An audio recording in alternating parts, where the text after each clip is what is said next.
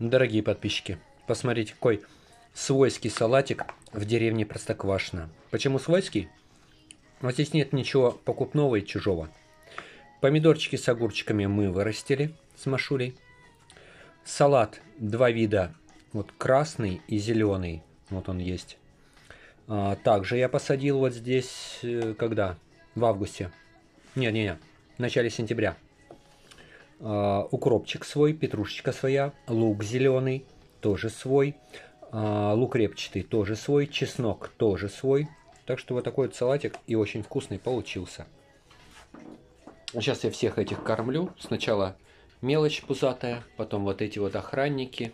Печка догорает, сейчас покушаю салатик и за компьютер. Вот этим уже самогончиком тут занялся сегодня. Тоже взболтыхал. Скоро третья ступень очистки. Всем хорошего вечера.